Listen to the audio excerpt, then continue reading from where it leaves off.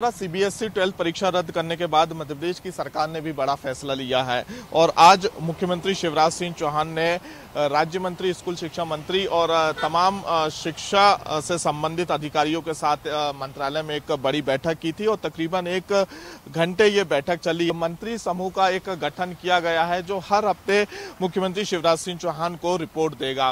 वहीं बात की जाए तो विशेषज्ञों से भी जो है सरकार चर्चा करेगी और टेंथ इलेवेंथ और ट्वेल्थ के ट्वेल्थ की जो अर्धवार्षिक परीक्षाएँ होती हैं, उनके अनुसार ही जो है ट्वेल्थ का रिज़ल्ट बनाया जाएगा। इसके साथ ही मुख्यमंत्री शिवराज सिंह चौहान ने यह भी कहा है कि जिन बच्चों को एग्ज़ाम देना है, अगर कोरोना समाप्त हो जाता है कोविड के बाद, वो बच्चे एग्ज़ाम दोबारा ट्वेल्थ क्लास के दे सकते हैं। अगर वो अपने अंकों से खुश नहीं होंगे तो वो दोबारा से एग्ज़ाम दे सकेंगे। लेकिन ये परिस्थिति तब उत्पन्न उत्पन्न होगी जब कोविड पूरी तरीके से समाप्त हो जाएगा। तो कह सकते हैं कि आज मध्य प्रदेश की सरकार ने बच्चों के हित के लिए एक बड़ा निर्णय लिया है और मध्य प्रदेश में बारहवीं की जो परीक्षाएँ हैं, उन्हें रद्द कर दी है।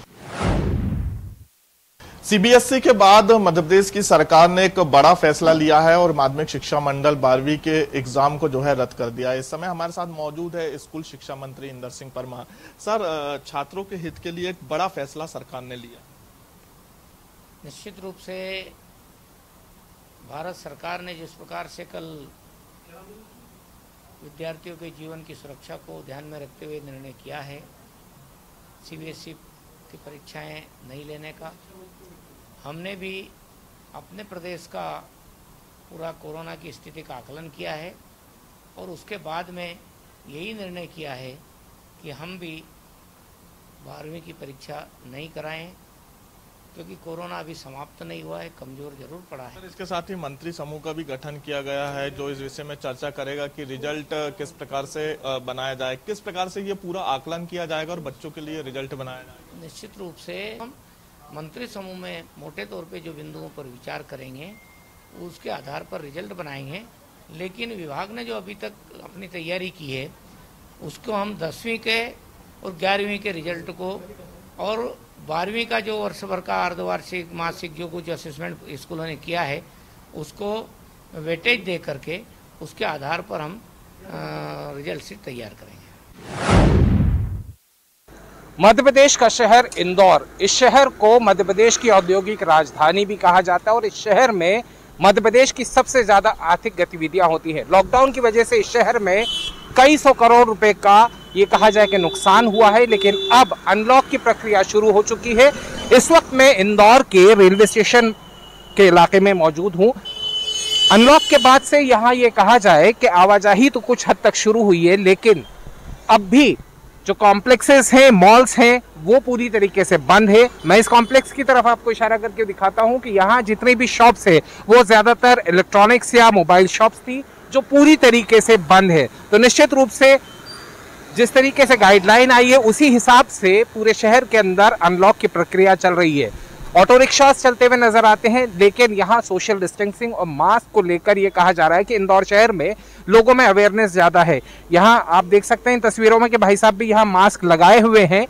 और सर किस तरह के हालात देख रहे हैं? इंदौर में लग रहा है कि अब थोड़ी नॉर्मलाइजेशन आ रहा है। यस यस आ रहा आ रहा आ रहा नॉर्मलाइजेशन आ रहा है। सर मास्क की क्या स्थिति लग रही है? शहर के अंदर लोग रख रहे हैं सोशल डिस्टेंसिंग पालन हो रहा है? हाँ पालन हो रहा है सर। बिल्कुल। दुकानें खुलने से कुछ थोड़ी राहत मिली है। हाँ राहत भी मिली है बिल्कुल। भीड़ तो नहीं लगा रहे लोग? भीड़ तो, नहीं भीड़ तो इतनी तो नहीं है भीड़ नहीं लगा नहीं इतनी देखा करते थे नहीं है। नहीं है। नहीं है बिल्कुल। सर आपको क्या लग रहा है कि अनलॉक से कुछ क्या स्थिति देख रहे हैं? खासतौर पे इंदौर की बात करें तो बहुत बुरे हालात थे इस दूसरी वेव में। सर लोग बहुत सी जगह सर पालन भी कर रहे हैं लेकिन बहुत सी जगह सर अभी भी कोई बिना मास्क के लोग दिख जाते हैं। और बहुत सी जगह अभी भी लापरवाही है। तो ये लापरवाही भी दिखती है। बहुत से लोग मास्क के बिना भी दिखते हैं और भीड़ में भी दिखते हैं। तो दोनों तरह के लोग हैं जो पालन कर रहा है जो अपना सेफ्टी रख रहा है और साथ में वो उस तरह के लोग भी हैं कि जो केयर नहीं कर रहे हैं। केयर नहीं हो रही है। इलेक्ट्रॉनिक ई रिक्शा आप देख सकते हैं कि वो चल रही हैं लेकिन इसके अंदर भी सिर्फ़ दो लोगों को बैठने की इजाज़त है। यहाँ एक ऑटो भी खड़ा है। मैं कोशिश करूँगा कि इनसे भी समझ लें। भाई साहब ऑटो रिक्शा आपका है? अच्छा ये रिक्शा आपका नहीं है। आप कहाँ से कहाँ से आ रहे हैं? भाई साहब नाराज़ हो गए हैं शायद हालाँकि मास्क लगाया हुआ है उन्होंने। मैं यहाँ आकर कोशिश करूँगा कि ऑटो रिक्शास के क्या हाल है इंदौर शहर के अंदर। सर काम पे निकल पड़े हैं मास्क लगा के घूम रहे हैं आप? जी हाँ सर मास्क लगा के घूम अच्छा रहे आम जनता कर रही है मास्क वास्क पहन रही है नहीं? हैं। जी हाँ पहन रही है पहन रही है? पहन रही है तो अभी थोड़ा बिज़नेस में उठाव आया आप सर अभी तो कुछ खुला ही नहीं आएगा कुछ भी उठाव नहीं आया बस खाली ये है कि थोड़ा बहुत चल दिया आएगा। और कुछ भी नहीं है। अभी बिज़नेस उस तरीके से नहीं नहीं नहीं अभी कुछ नहीं उठा है। तो आप पूरी सावधानियाँ रख रहे हैं आप? जी हाँ सैनिटाइजर और मास्क वगैरह सब लगा रहे हैं। कितनी सवारी बैठाने की इजाज़त मिली? दो सवारी बैठाने की इजाज़त दो सवारी ही बैठा सकते हैं। जी हाँ। तो फ़िलहाल दो सवारी के साथ ही करना पड़ रहा है, लेकिन अनलॉक हो चुका है। अनलॉक की स्थितियाँ बन चुकी हैं। इंदौर शहर के सूरत हाल कुछ इस तरह के हैं कि इंदौर में अब कोविड पॉजिटिव पेशेंट्स की गिनती कम हो गई है। पिछले 24 घंटों की अगर मैं बात करता हूँ तो तकरीबन साढ़े तीन सौ के आसपास कोरोना पॉजिटिव पेशेंट्स सामने आए थे। लिहाजा धीरे धीरे शहर के अंदर नॉर्मलाइजेशन की स्थिति बनती हुई नज़र आ रही है। अरविंद के साथ अत्याप Sheikh India news, Indore. Corona की पहली लहर में चौरासी दिन और अब कोरोना की दूसरी लहर में सैतालीस दिन बंद रहने के बाद खंडवा के बाज़ार आज से खुल रहे हैं। आप देख सकते हैं मेरे पीछे कि आज ऑड इवन फार्मूले से बाजारों को खोला जा रहा है और आज पहले दिन जो है यहाँ के बाज़ार देख सकते हैं कि नगर निगम की टीम भी पहुँची है और नियमों का पालन कराया जा रहा है। हम कोशिश करेंगे नगर निगम के अधिकारियों से बात करने की कि किस तरह का आज जो है, यहाँ पर बाज़ार खोल रहे हैं और किस तरह के नियमों का पालन कराया जा रहा है। नगर निगम के बाज़ार अधिकारी अशोक तारे साथ में हैं। उनसे जानने की कोशिश करते हैं कि आज किस तरह के नियमों का पालन कराया जा रहा है। जिला प्रशासन द्वारा कोविड गाइडलाइन में मैनेजमेंट कमेटी द्वारा जो लिए गए निर्णय, जिसमें लेफ़्ट साइड की दुकानें, जनगणना के नियमों के आधार पर लेफ़्ट साइड की दुकानें आज बंद रहेगी। विषम संख्याओं वाली जो विषम तारीखों में जो है, और सम तारीखों की आज खुली रहेगी दुकानें। दो, आज दो तारीख है, इसलिए राइट साइड की दुकानें सब पूरी खुली रहेगी, और समस्त दुकानदारों से भी अभी अपील की जा रही है कि आप कोविड 19 के सभी नियमों का पालन करें। आपके यहाँ जो ग्राहक आए, वो मास्क लगाएँ सोशल डिस्टेंसिंग का पालन करें। इस प्रकार की पूरी समझाइश दी जा रही है टीम द्वारा। हम कुछ व्यापारियों से भी बात करने की कोशिश करेंगे और जानने की कोशिश करेंगे कि जब बाज़ार खुल रहे हैं तो क्या उनका क्या कहना है इस बारे में? बाज़ार बहुत दिनों के बाद खुला है। कैसा क्या प्रतिक्रिया है कहेंगे लोग पालन कर पाएँगे बाज़ार कोरोना से हम जीत पाएँगे कैसे जीत पाएँगे? क्या आप लोगों ने सोचा है? किस तरह से दुकान खोल रहे के अनुसार चलेंगे। शायद संभव है तो व्यापारियों का कहना है कि शासन की गाइडलाइन के हिसाब से चलेंगे और आप देख सकते हैं कि नगर निगम की टीम द्वारा जो है नियमों का पालन कराने के लिए जिस प्रकार से लगातार आ रही शिकायतें, कि जिस प्रकार से मध्य प्रदेश में ग्रामों में ना वैक्सीनेशन के प्रति लोगों में ना जागरूकता देखी गई थी और ना ही वैक्सीनेशन हो रहा था तो अब प्रदेश सरकार युद्ध स्तर पर वैक्सीनेशन कर रही है। आज हम ऐसी वैक्सीनेशन पर खड़े हैं जहाँ हम जानना चाहेंगे और हम रियलिटी चेक कर रहे हैं कि किस प्रकार से ये कार्यालय कब खोला गया कब से वैक्सीनेशन शुरू हुआ और किन ग्रामों के लोग आए हुए हैं या इन्हें क्या जानकारी पहले थी क्या भ्रम था? भाई साहब। मैं पुरुषोत्तरपुर से हूँ। मेरा नाम सुनील कुमार कुशवाहा है और मुझे आज मालूम पड़ा कि यहाँ फ्री में जो वैक्सीन लग रही है तो मैं लगवाने के लिए यहाँ आया पहले आप डर रहे थे इस बारे में तो कैसे आपको जानकारी मिली कि हमें लगवाएँ? ये कॉलेज में हम पढ़ते हैं तो मैडम जी ने कहा कि सबको लगवाना ज़रूरी है। अच्छा। तो इसीलिए हम आए हैं। हम और कुछ लोगों से बात करना चाहेंगे कि वो कहाँ से आए हैं और किस प्रकार से वो वैक्सीनेशन करवा रहे हैं तो क्या भ्रांतियाँ थी उनके मन में क्या वो दूर हुई हैं? नहीं भ्रांतियाँ तो पूरी पूरी दूर है। वैक्सीनेशन करना चाहिए और वो भी हम अकेले को नहीं सभी को करना चाहिए। जितने भी ग्रामवासी है सभी को वैक्सीनेशन करना चाहिए। यदि अपने ज़िंदगी को सही तरीके से चलाना है तो जीना है इस जीवन में। तो वैक्सीनेशन करना बहुत ही ज़रूरी है। जैसा कि प्रदेश सरकार ने कहा था और उस यहाँ पर विष्णुदत्त शर्मा जी ने सांसद जी ने आकर इसका दौरा किया जहाँ वैक्सीनेशन में फैली भ्रांतियों को दूर करने के अपनी लगातार पिछले पंद्रह दिनों से जो रथ चला रहे हैं उसका असर साफ़ दिखाई दे रहा है कि किस प्रकार से वैक्सीनेशन ग्राम स्तर पर पहुँचा है क्योंकि लॉकडाउन खुल गया है तो लोग कहीं ना कहीं निकल कर बाहर आ रहे हैं और जो भ्रांतियाँ थी उनको भी दूर करने की कोशिश कर रहे हैं। हम कुछ समाज सेवी उनसे ही बात करने की कोशिश करते हैं सर। ये किस प्रकार से लोगों को आपने समझाया? जैसे ग्रामीण भ्रांतियाँ थी तो क्या भ्रांतियाँ लोगों को में थी? ये हमें बताइए। ये भ्रांतियाँ, पहली बात तो ये थी लोगों को कि जो वैक्सीन लगती है, उसके बाद उनको बुखार बहुत आता है और वो बीमार हो जाते हैं।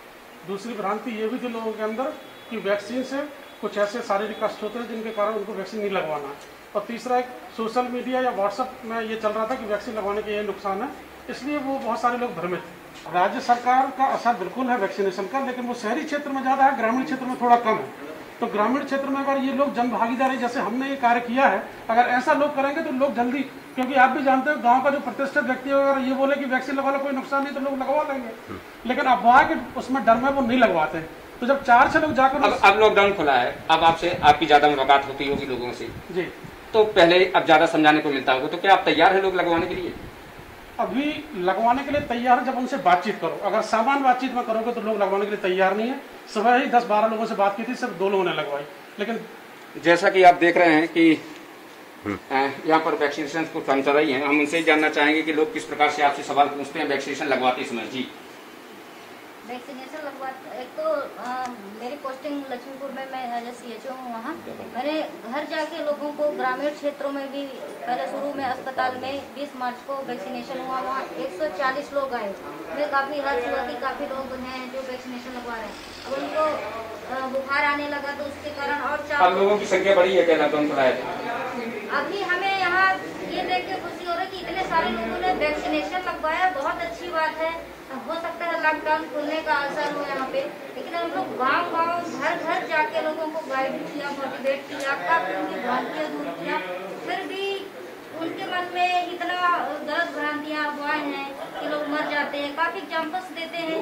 काफ़ी लोगों में भ्रांतियाँ थी। आपने खुद ही सुना कि काफ़ी लोगों में भ्रांतियाँ थी, जिस प्रकार से प्रदेश सरकार से लेकर प्रशासन ने, एक संगठन ने काम किए हैं। कि कैसे लोगों को वैक्सीनेशन के प्रति जागरूक किया जाए तो उसका असर अब साफ़ दिखाई दे सकते हैं, क्योंकि अब लॉकडाउन खुला है तो कहीं ना कहीं लोग वैक्सीनेशन के प्रति जागरूक हो रहे हैं और आ रहे हैं। तो वही हम अभी भी ऐसे कई ग्राम, ग्रामीण अंचल हैं जहाँ पर वैक्सीनेशन के लिए जागरूकता की ज़रूरत है। हम भी यही कहते हैं आईटीबी फाउंडेशन का भी यही कहना है कि आप वैक्सीनेशन ज़रूर कराएँ, ताकि कोरोना की संक्रमण मध्य प्रदेश से तोड़ी जा सके।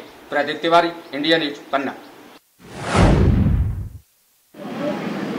No mask no service no mask no material Chhindwara में ये फार्मूले के तहत जो है अनलॉक की प्रक्रिया छिंदवाड़ा में शुरू की गई है। आज शासन प्रशासन ने जो है छिंदवाड़ा को अनलॉक कर दिया है, जिस पर जो है ऑड इवन का फार्मूला छिंदवाड़ा में अपनाया गया है। एक दुकान छोड़ के अगली दुकान छिंदवाड़ा में खोली जा रही है जिस पर जो है व्यापारियों ने अपना विरोध भी जताया है, क्योंकि ये जो है नंबरिंग प्रॉपर जो है व्यवस्था उसकी नहीं हो पाई तो लोगों को ये समझ में नहीं आ पाया कि उनकी दुकान ऑड में है या इवन में है। प्रशासन ज़रूर छिंदवाड़ा की सड़कों पर आज देखा व्यवस्था बनाई जा रही है और प्रशासन का ये भी कहना है कि इससे जो आसान व्यवस्था होगी, हम उसको अपनाने का प्रयास करेंगे। आप मेरे पीछे देख सकते हैं, यहाँ पर जो है कुछ दुकानें बंद हैं उसके बाद जो है लगातार ये तीन चार दुकानें बंद हैं तो उनको शायद यही नहीं पता है कि कौन सी दुकान ऑड में आ रही है कौन सी दुकान इवन में आ रही है।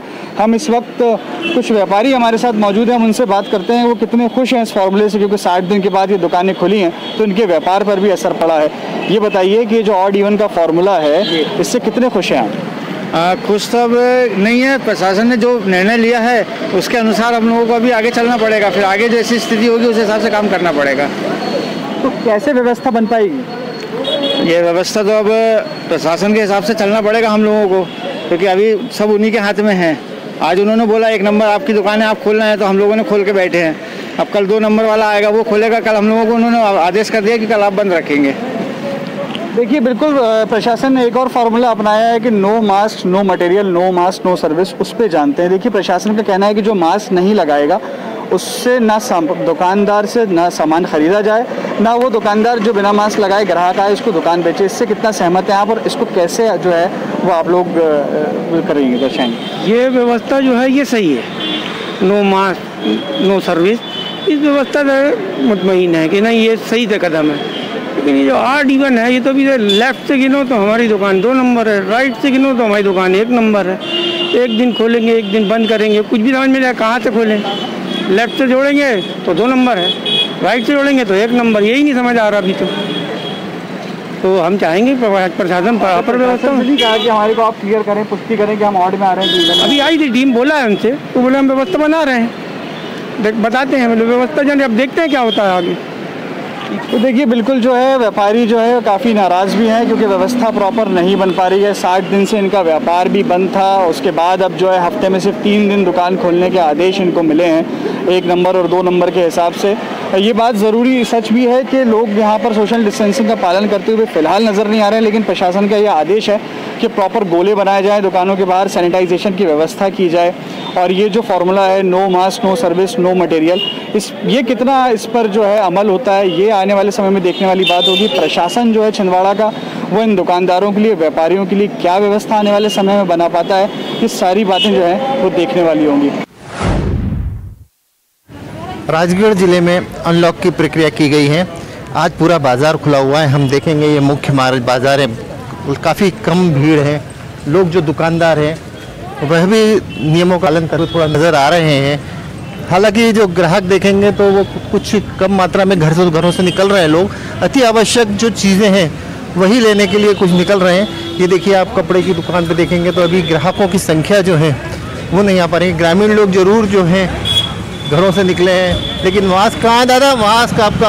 ये मास्क ये नहीं खुले में रखा ये काय को रख रहे ये गोली लेने आया था हाँ। तो गोली खावा लग गया तो लगी लगा के रखो ना। काका मास्क कहाँ है आपका? मास्क कहाँ है मास्क? मास्क तो घर पे नहीं है। घर पे काय को रह गया? आपको पता है कोरोना महामारी चल रही है। जो ये कोरोना कर्फ्यू में ढील दी गई है इसमें काफ़ी सावधानी रखना है। कहाँ है? मास्क घर पे रह गया, नहीं जल्दी वाली मास्क घर पे रह गया है। ज़्यादातर लोग यही देखिए आप, ये दुकानदार पे जो दुकान सामान खरीद रहे हैं, इनको दिखाते हैं। काका, मास्क कहाँ है अपना? मास्क। देखिए, निश्चित तौर पे लापरवाहियाँ जो है, वो ज़रूर दिख रही है। लोगों को अभी भी जो भय है, खौफ है, वो नज़र नहीं आ रहा है। ढील कोरोना कर्फ्यू में ज़रूर दी गई है। लेकिन हालात जो हैं, वो बिगड़ने की आशंका लग रही है। अब देखिए, ये जो दुकानें यहाँ पे पालन कर रहे हैं। आगे हम और दिखाएँगे। यहाँ पर देखिए, ये दुकानें पुलिस कर्मियों की ड्यूटी है। मामा क्या क्या पालन कर रहे हैं आप? नियमों का कोरोना गाइडलाइन के। यहाँ चौराहे पर कोरोना टेस्टिंग के लिए ड्यूटी लगा दी गई है। जो भी लोग दिख रहे हैं, जिन लोगों की टेस्टिंग है, कोरोना टेस्टिंग भी कर रहे हैं यहाँ पर। देखिए आप, जो लोग कोरोना टेस्टिंग, जिनको लग रहा है कुछ, या जो बिना मास्क के भी हैं, उन लोगों की कोरोना टेस्टिंग चल रही है। देखिए अब यहाँ पीपल चौराहे पे कोरोना टेस्ट किया जा रहा है, ताकि कोरोना संक्रमण को रोका जा सके। यहाँ पर जो मुख्य वो है, कोरोना। क्या आप कर रहे हैं यहाँ पर? हम यहाँ पर आज जो लॉकडाउन में ढील दी गई है, दस से चार में, उसमें हम लोगों का जो बिना मास्क के हैं, या जो सोशल डिस्टेंसिंग का पालन नहीं कर रहे हैं, उन लोगों को यहाँ पर R T P C R test और रैपिड टेस्ट करवा रहे हैं, ताकि हमको जो है इस संक्रमण को रोकने में मदद मिल सके। मार्केट में भी हम जो सब्ज़ी वाले हैं और जो जहाँ पर ज़्यादा अधिक मात्रा में ग्राहक की उपलब्धता रहती है वहाँ उन लोगों का भी हम टेस्ट करवा रहे हैं ताकि संक्रमण फैलने से रोक सकें। संक्रमण रोकने के काफ़ी प्रयास किए जा रहे हैं। लोगों को टेस्टिंग भी किया जा रहा है जो फालतू घूमते नज़र आ रहे हैं बिना मास्क के नज़र आ रहे हैं या जो स्वेच्छा से भी कराना चाह रहे हैं उनका कोरोना टेस्ट हो रहा है। आप कोरोना टेस्ट करा रहे हैं? जी सर कोरोना टेस्ट करवा रहे हैं। तकलीफ़ हो रही है? कोई तकलीफ़ नहीं है सर। जब भी मतलब जागृति के हिसाब से हाँ जागृति के हिसाब से। देखिए कोरोना टेस्ट भी यहाँ पर ताकि लोग कोरोना संक्रमण से बच सकें और ये टेस्टिंग के लिए भी आप क्या किन लोगों का टेस्ट कर रहे हैं? क्या जो मास्क नहीं पहन रहे हैं उनको पकड़ करके यहाँ पे टेस्ट करवा रहे हैं। और जो ट्रिपलिंग कर रहे हैं इस गाड़ी में जो ट्रिपलिंग कर रहे हैं उनका भी हम लोग सैंपल ले रहे हैं। और जो इच्छुक आकर के भी अपना टेस्ट करा सकते हैं यहाँ पे और वो भी करवा सकते हैं। बिना मास्क वालों का कोरोना टेस्ट कर किया जा रहा है उनको पकड़कर टेस्टिंग के लिए यहाँ पर कोरोना की टेस्टिंग की जा रही है। करवा लो यार कोई दिक्कत नहीं। आप बताइए अभी तक कितने लोगों का कोरोना टेस्ट किया है आपने सुबह से? भाई तो अभी तक दस लोग हुए हैं और अभी भी प्रक्रिया चालू है। बाज़ार में भीड़ कम हो लोग कम आए जिसको लेकर जो बिना मास्क के घूम रहे हैं, उन लोगों की कोरोना टेस्टिंग भी की जा रही है ताकि कोरोना संक्रमण रोका जा सके। लॉकडाउन तो लगा दिया गया कोरोना के संक्रमण को हटाने के लिए, लेकिन इस लॉकडाउन से कितने लोग प्रभावित हैं, हम उनका जमीनी स्तर पर एक एनालिसिस कर रहे हैं। हम उन छोटे ठेला वाले, छोटे व्यापारियों से बात करने की कोशिश करते हैं, जो लगातार ठेलों पर सब्ज़ियाँ, फल लगा करके बेचते हैं, अपने परिवार का भरण पोषण करते हैं।